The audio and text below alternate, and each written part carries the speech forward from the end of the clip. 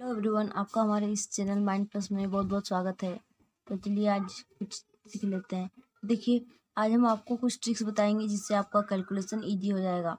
जैसे कि two digit number को हमें एक ही लाइन में किस तरह मल्टीप्लाई करना है, ये आप बस एक ही मिनट में कर लेंगे। देखिए, इसे कैसे करना है। देखिए, ये हमारा एक मल्टीप्लाई इसे हम बस एक ही लाइन में करेंगे। तो पहले क्या करना है, इस दोनों नंबर को हमें मल्टीप्लाई करना है। जैसे टू थ्री जा हो गया, सिक्स। उसके बाद क्या करना है ये दोनों को क्रॉस करना है, जैसे टू टू जा फोर और इधर से फोर, थ्री जा ट्वेल्व।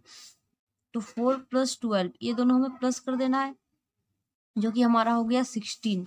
सिक्सटीन का हम यहाँ सिक्स लिख लेंगे, हाथ में कैरी वन हो जाएगा।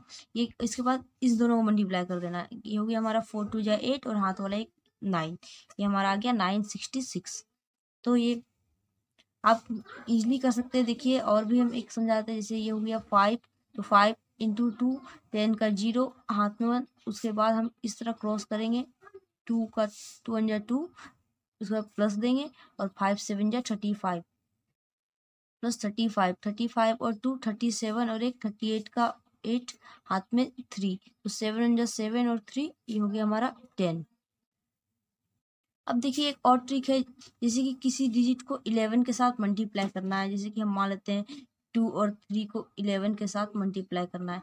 तो इसके लिए हमें क्या करना पड़ेगा? बस ये टू और थ्री को लिख देते हैं, जैसे कि हम एक साइड टू लिख देंगे और एक साइड थ्री लिख देंगे।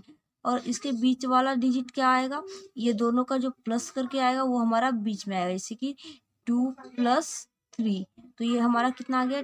टू और थ्री फाइव और ये हमारा हो गया थ्री यानी कि इसका आंसर आ गया हमारा टू फिफ्टी थ्री जैसे और भी डिजिट है, जैसे कि हम अगर फोर्टी फाइव को इलेवन के साथ मल्टीप्लाई करना है तो हमें क्या करना पड़ेगा?